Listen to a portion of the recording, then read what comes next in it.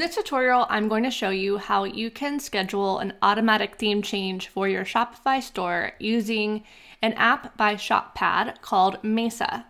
So this would be useful if you're launching a new product and want to change the look and feel of your site to match that launch, or if you are launching something for Black Friday and want to change the look and feel of your shop for that.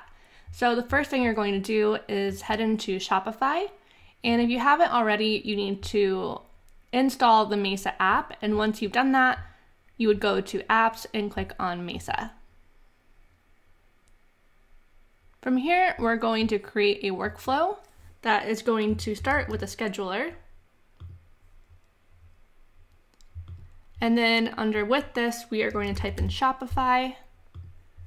And from this first dropdown, we are going to select theme. And in the second drop down here, we're going to select publish. Now we're going to make our automation. So clicking into scheduler, we can pick the date we want our theme change to happen. So let's say we want to change our theme at midnight on Black Friday.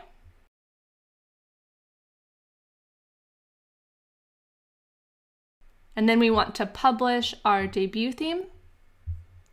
But we don't want this to be a permanent change, so we're going to add a step which is going to be delay. Click next. And here you can pick how long you want to delay the next step of the automation workflow, which will be to change your Shopify theme back to your normal theme. So let's say we want to run a new theme for four days.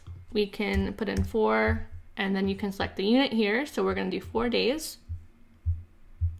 And then after four days, we want to go back to our normal theme. So select Shopify again, type in theme, select publish, click next, and then you would select your normal theme here. Once you're done, scroll up to the top and click on this gear icon and toggle on status to enable this and click save.